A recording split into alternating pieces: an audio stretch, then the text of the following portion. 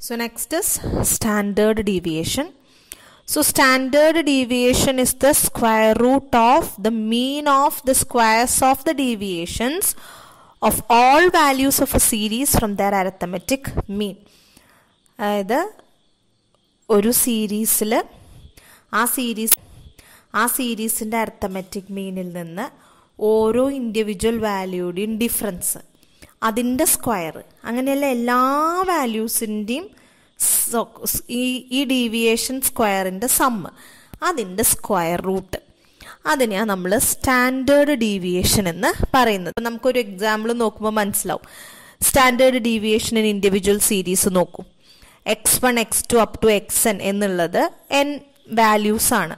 അപ്പം അതിന്റെ standard deviation sigma എന്ന് പറഞ്ഞാൽ റൂട്ട് ഓഫ് ഇതിൽ എക്സ് ബാർ എന്ന് പറയുന്നത് ആ എക്സ് വൺ തൊട്ട് എക്സ് എൻ വരെയുള്ള സീരീസിന്റെ മീനാണ് സോ എക്സ് വൺ എന്ന് പറയുന്നത് ആ സീരീസിലെ ആദ്യത്തെ value so X one minus X bar അതാണ് ഡീവിയേഷൻ ഹോൾ സ്ക്വയർ അതിന്റെ സ്ക്വയർ പ്ലസ് നെക്സ്റ്റ് വാല്യൂ അതിനെ മീനിൽ നിന്ന് സബ്ട്രാക്ട് ചെയ്യുക അതിന്റെ സ്ക്വയർ അങ്ങനെ എക്സ് എൻ വരെയുള്ള വാല്യൂസ് അതിനെ അതാത് അതിന്റെ മീനിൽ നിന്ന് സബ്ട്രാക്ട് ചെയ്തിട്ടുള്ളതിന്റെ സ്ക്വയർ അതിന്റെ സ്ക്വയർ റൂട്ട് അപ്പം ഇന്ന് നമുക്ക് square root of sigma X minus X bar whole square by N എന്ന് പറയാം. അപ്പം ഇങ്ങനെ X minus X bar by ഇങ്ങനെ കണ്ടുപിടിക്കാം. അപ്പം അതിനെ നമ്മൾ ഒന്നും കൂടി സിംപ്ലിഫൈ ചെയ്യുമ്പോൾ square root of sigma X square by N minus sigma X by N whole square എന്ന് വരും. ഇതിന്റെ സ്ക്വയറിനെ സിഗ്മ സ്ക്വയറിനെ നമ്മൾ വേരിയൻസ് എന്ന് പറയും. അത് ആ സ്ക്വയർ റൂട്ട് ഇല്ലാതെ ഇതിന്റെ സ്ക്വയർ സ്ക്വയർ റൂട്ട് ഇല്ലാതെ വരും. ആൻഡ് കോഫിഷ്യന്റ് ഓഫ് വേരിയേഷൻ എന്ന് പറഞ്ഞാൽ standard deviation by mean into hundred അതാണ് കോഫിഷ്യന്റ് ഓഫ് വേരിയേഷൻ അപ്പം നമ്മൾ ഏറ്റവും കൂടുതൽ ഉപയോഗിക്കുന്ന ഒരു measure of dispersion actually variation standard deviation അല്ലെങ്കിൽ വേരിയേഷൻ അല്ലെങ്കിൽ കോഫിഷ്യന്റ് ഓഫ് വേരിയേഷൻ ആണ്. ഓക്കെ നമുക്ക് അതിന്റെ ഒരു എക്സാമ്പിൾ നോക്കാം. ഇപ്പോൾ ഫൈവ് എയ്റ്റ് സെവൻ ലെവൽ അങ്ങനെ ഒരു ഇൻഡിവിജ്വൽ സീരീസ് ആണ്. അപ്പോൾ അത് എക്സ് നമ്മൾ എക്സ് സ്ക്വയർ കണ്ടുപിടിച്ചു. എക്സ് സ്ക്വയർ കണ്ടുപിടിച്ചാൽ നമുക്കിവിടെ സ്റ്റാൻഡേർഡ് ഡീവിയേഷൻ എന്താ? Root of sigma x square by n my minus sigma x by n whole square ആണ്. എല്ലാ വാല്യൂസും വാല്യൂസും അവൈലബിൾ ആണ്. സബ്സ്റ്റിറ്റ്യൂട്ട് ചെയ്താൽ സ്റ്റാൻഡേർഡ് ഡീവിയേഷൻ സിഗ്മ കിട്ടും. അതിന്റെ സ്ക്വയർ എടുത്താൽ സിഗ്മ സ്ക്വയർ അല്ലെങ്കിൽ വേരിയൻസ് ആയി.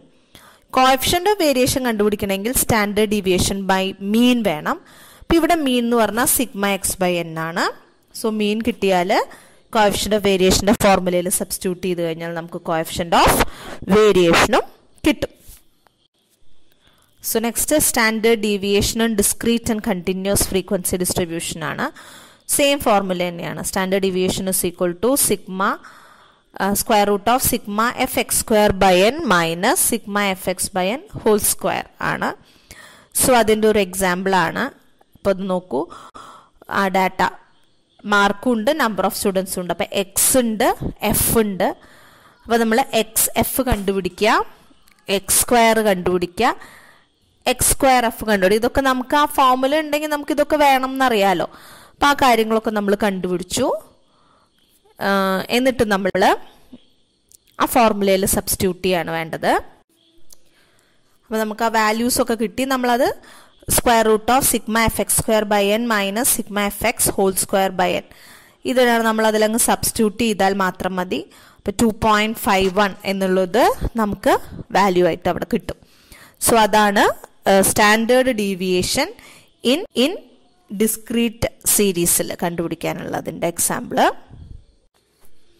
നെക്സ്റ്റ് സ്റ്റാൻഡേർഡ് ഡീവിയേഷൻ അതിന്റെ ഒരു ക്ലാസ് ആണ്. ക്ലാസ് ആണെങ്കിൽ സീറോ ടു ടു അപ്പോൾ നമ്മൾ എഫ് കണ്ടുപിടിക്കണം. എക്സ് കണ്ടുപിടിക്കണമെങ്കിൽ നമുക്ക് മിഡ് എക്സ് കണ്ടുപിടിക്കണം. Zero plus two by two എന്ന് F X X square F X square ഇതൊക്കെ വാല്യൂസ് നമുക്ക് വേണ്ടി വരും നമുക്കറിയാം. പിന്നെ നമുക്ക് ആ സ്റ്റാൻഡേർഡ് സ്റ്റാൻഡേർഡ് ഡീവിയേഷൻ ആ ഫോർമുലയിൽ ഡയറക്റ്റ് സ്യൂട്ടായിട്ട് ഫിറ്റ് ചെയ്താൽ മതി.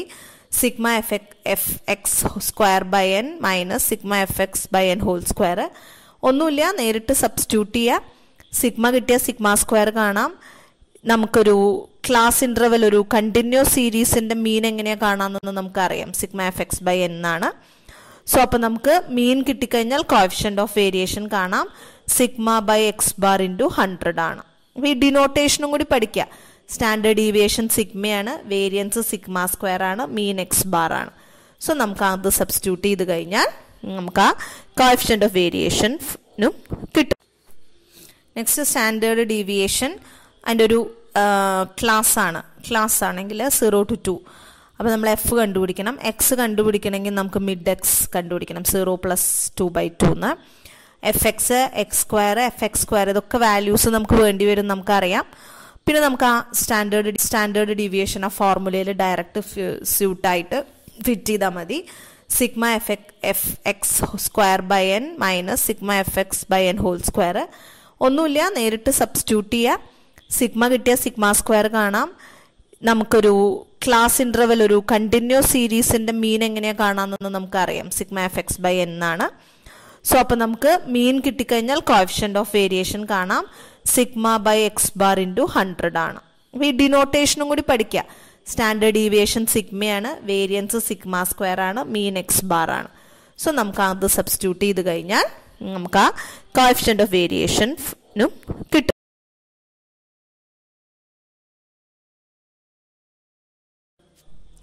ഇനി ഒരു എക്സാമ്പിളും കൂടിയാണ്. The scores of two batsman A B during a certain match തന്നിട്ടുണ്ട്.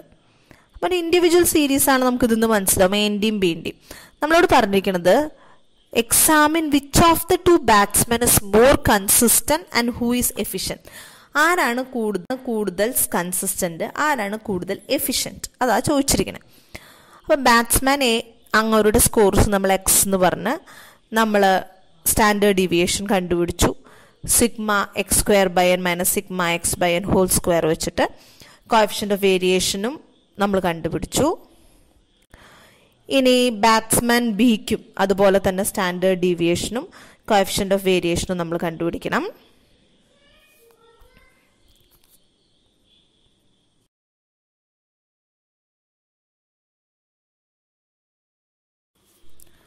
അപ്പോൾ നമ്മൾ അതുപോലെ ബാറ്റ്സ്മാൻ ബിയുടെ ക്വസ്റ്റന്റ് ഓഫ് വേരിയേഷനും നമ്മൾ കണ്ടുപിടിക്കുകയാണ്.